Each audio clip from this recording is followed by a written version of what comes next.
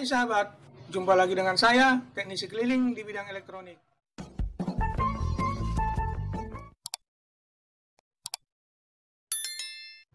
Ini adalah satu buah TV tabung, yang mana TV tabung ini gambarnya sudah gelap, dan jika skrennya dinaikkan juga sudah habis. Nah, adapun mereknya LG seperti ini.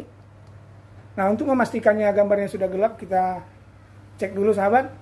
Nah, di sini saya sudah buka casingnya, perhatikan.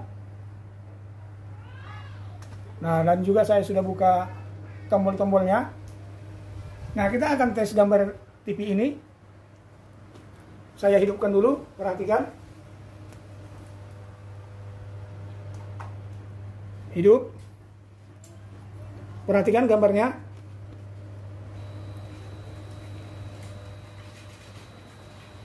Nah, gelap, tidak kontras. Nah, walaupun G2-nya atau screen-nya dinaikkan di playback, perhatikan sahabat, saya naikkan kandas. Lihat. Nah, lihat ini TV-nya di kaca. Hilang. Nah, hanya segini keterangannya.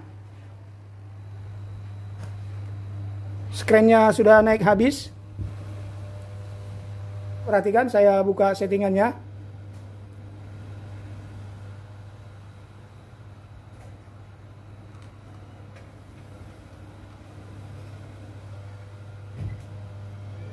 Nah, lihat kecerahan kontras 98 kecerahan 90 warna 60 ketajaman 80 sudah habis sahabat?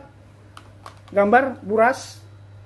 Nah, di video kali ini saya akan bertutorial untuk cara menerangkan layarnya ini kembali tanpa harus ganti tabung atau lensa karena bisa kemungkinan ini lensanya sudah rusak atau lemah. Nah, kita tidak mengganti lensanya tetapi gambarnya bisa terang seperti baru lagi. Karena TV ini sudah zaman, bisa jadi sahabat tabungnya yang sudah lemah. Nah, bagaimana caranya?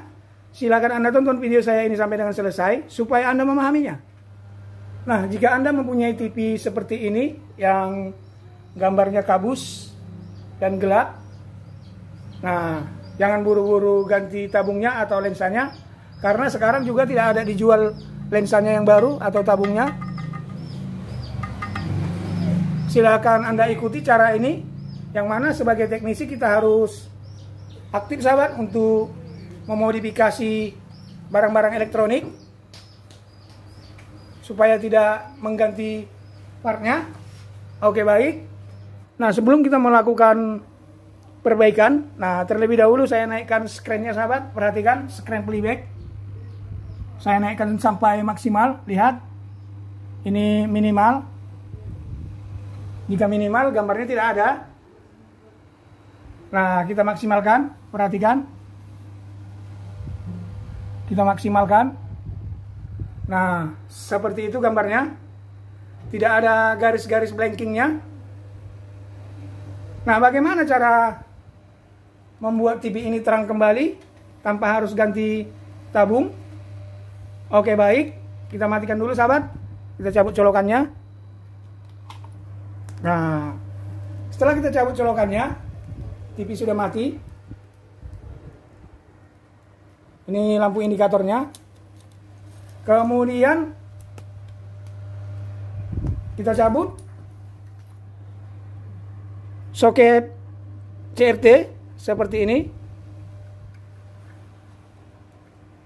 Nah, kita putus jalur lampu filamen yang bertegangan 3 volt. Nah, ini adalah jalur lampu filamen, perhatikan. Hektar. Jika di sini yang ini negatif, yang ini positif. Perhatikan sahabat, supaya Anda tidak gagal paham. Kita lepaskan dulu dari soket CRT-nya, kakinya ini. Oke baik. Nah, cara melepasnya kita cabut aja timahnya. Pastikan bagian negatif tidak berhubungan lagi dengan PCB CRT ini. Nah, ini dia sahabat. Sudah putus, tidak berhubungan lagi dengan negatif PCB CRT. Perhatikan. Jelas? Nah, setelah seperti ini, kemudian kita pasang ke soket CRT-nya. Seperti ini.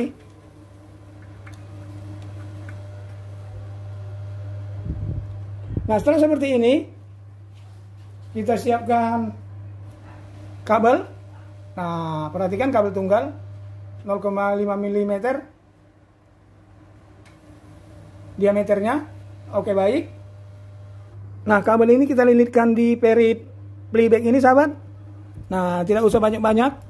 Tiga lilitan saja. Karena ini disebabkan tabungnya lemah.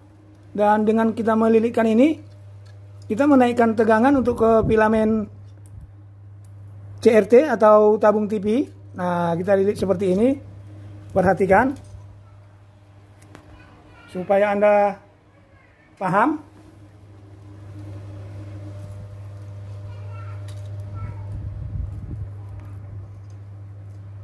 Kita lilit.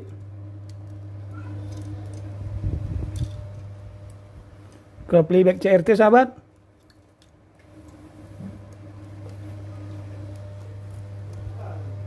sekitar tiga lilitan saja nah seperti ini tiga lilitan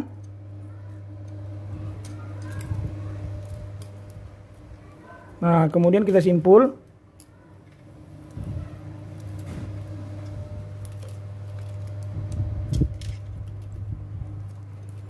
nah seperti ini sahabat. Perhatikan. Nah ini adalah ujung kabel ini. Nah untuk kabel 2 ini kita buat di negatif 1 negatif CRT dan di kaki soket CRT ini yang sudah kita putus jalurnya. Nah oke okay, baik saya akan buat kita buat di negatif perhatikan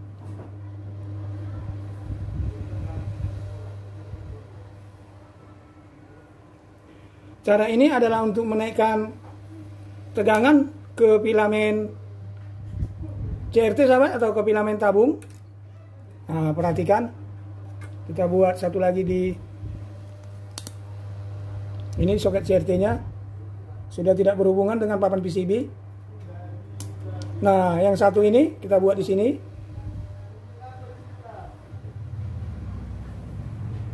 Nah, seperti ini perhatikan. Pastikan tidak berhubungan dengan negatif PCB. Nah, setelah seperti ini, kita solder. Lalu kita pasang ke soket CRT-nya.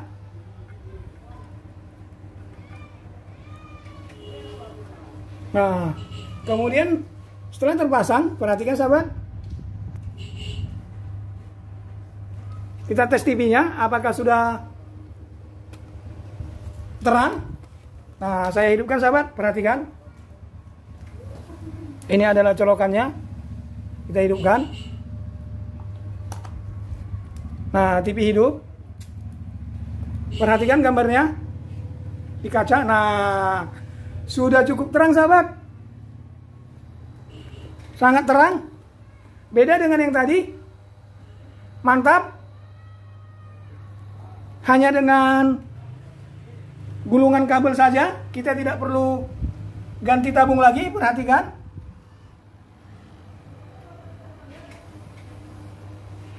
Nah demikian, semoga bermanfaat.